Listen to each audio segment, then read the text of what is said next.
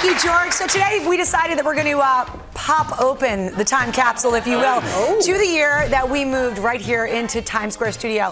First up, the sounds of 1999. Britney Spears was in the news, the up-and-coming pop star announcing her Baby One More Time tour, stopping by MTV just across the street to talk about it.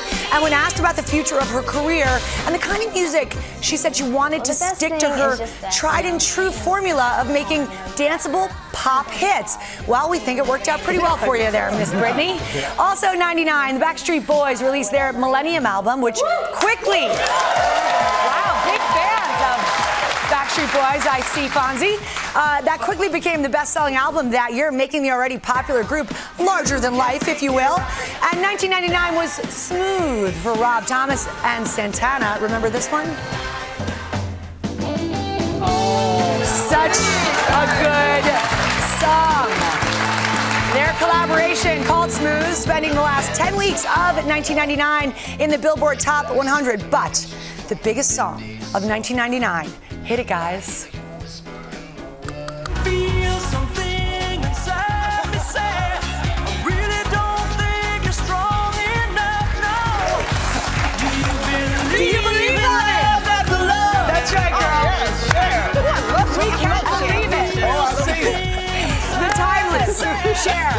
Making us all believe in life after love. So that was music. The shoulder pop happens immediately. I love when you turn back to horn. Yes, turn back to horn. We haven't heard that. Thank you for that. Another throwback this morning. Uh, how about the sexiest man alive back in 1999? He was both an officer and a gentleman. Mr. Richard Gere, everybody. Was for him. Here, starring in one of our all-time favorites, Runaway Bride, alongside Julia Roberts. And speaking of movies, in 99, Whoopi Goldberg hosted the Academy Awards that year. And who can forget Gwyneth Paltrow and that iconic pink Ralph Lauren gown accepting the Oscar for Best Actress for her role in Shakespeare in Love, which also won the Oscar that year for Best Picture. At the Grammys in 99, it was Celine Dion's My Heart Will Go On. That won Record of the Year. And at the 51st Annual Primetime Emmy Awards, it was The Sopranos with the most nominations in its very first season. That was the first season in 1990. I just got chills. that seems so. Right? Change in, yes. in all of television. That really did it. Yeah. I feel like that was the linchpin in television.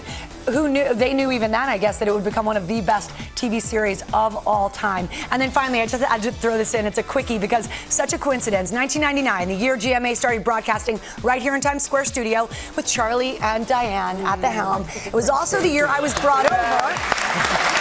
Yeah, so I was brought over from Eyewitness News as a GMA reporter. My very first assignment in the fall of 1999, covering of all things Pokemon, the big craze, how kids were skipping school. It was a tough assignment to see the very first Pokemon movie the minute it came out. Robin, take a look. Oh. WABC's Lara Spencer, who's going to join us, we hope, from time to time, decided to go out and bust a few of the kids, right? a few? They were all over the place. And you know, the thing is, today is a legal school holiday. So theaters like this one will be filled. There are seven showing here. They are expected to be packed, but of course there were those who couldn't wait. You know that little yellow guy called Pikachu? Kind of sounds like Achu? Yeah, a lot of that going on around here yesterday in New York City. Thumbs up according to critics as well. The damn That is priceless! It's the voice. The voice sounded so young. I sounded like I was like a helium balloon. oh, yes. The hair, the voice, and Pokemon standing the test of time, as is our wonderful home right here in Times Square. And everyone, that is Pop News. Yeah.